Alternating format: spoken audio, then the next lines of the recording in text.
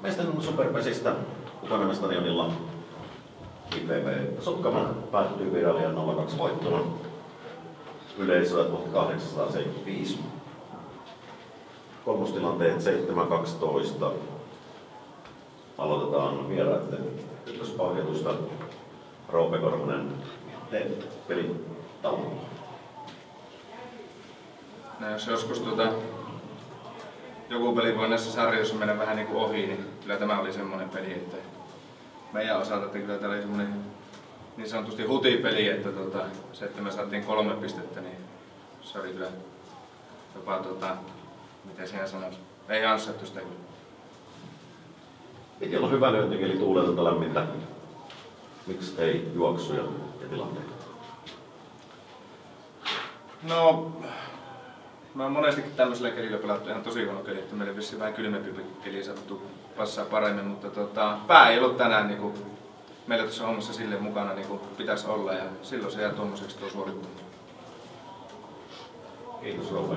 Heikkojoukkuisessa ottelussa Jokerit kuitenkin pääroolissa, eli meillä taas kerran ykköspalkittu Mauri Rönkkö. Mitä miettii? No joo, ulkopelijuhlahan tuo oli, että sisäpeli molemmilla takkuisia. Siinäpä se, eipä ihmeempi. No, miksi se lyönti tänään kulkenut kummallakaan? En tiedä. Sanoisin jos tietysti. No, kun miehet on niukkasana sinne, päästetään pelurit verryttelemään ja siirrytään pelijohtajien puheenvuoro- puheenvuoroihin. Sotkamo, Mikko Kuosmanen, kerropa miettii. No, ulkopeli oli hyvä molemmilla joukkueilla ja tota, ää, kyllä tämä meillä oli niin kuin Rope sanoi, niin hutipeli ja varmaan jäi tuohon kovaan Joensuun peliin tuo lataus, mutta kyllä mä ihmettelen tänään, että tällainen keli oli yksi pallo ja takalaittomaksi. Vaikka lyönti ei kule, niin siitä huolimatta niitä takalaittomia tulee paljon. Että kyllä tänään taas jossain muussakin ollaan vikaa kuin tuota miehissä. Lukkarit oli ilmeisen hyviä tänään. No joo, kyllä, että sisäpelissä kumpikaan ei ollut ihan täydellä niin kuin mukana ja sitä kautta mukkarit pääsee juhlimaan ja ulukenttä pääsee siihen niin kuin hall- hallinnan niin kuin tunteeseen.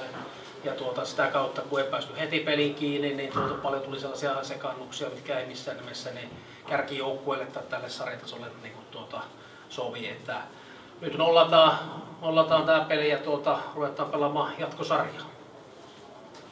Hyvä. Sitten kotijoukkueelta Petri Tuuva. Mitä mietit?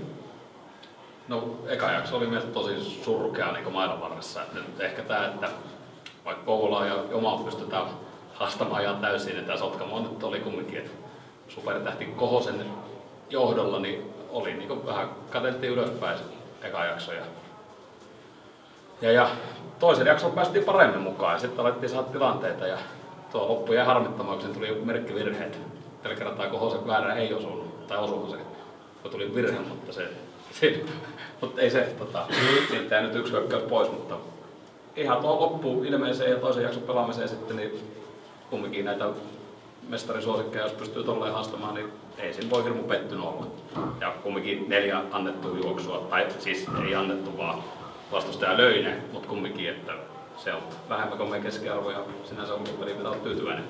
Siellä Kosonen teki huimut paloa yhdestä kakkossaamalöinnistä ja Vyryläinen muutamia ja joku pelasi hyvin, niin oli ihan hyvä ulkopeli. Sisällä vaan ei saatu nollaa rikki eka jaksolla. Ja... Mutta loppukohan parani. Hyvä näin. Maanantaina jatkuu pelit. Mitä yritystoimenpiteitä joukkueeseen maanantain mennessä? No pitää nyt katsoa tuo terveystilanne.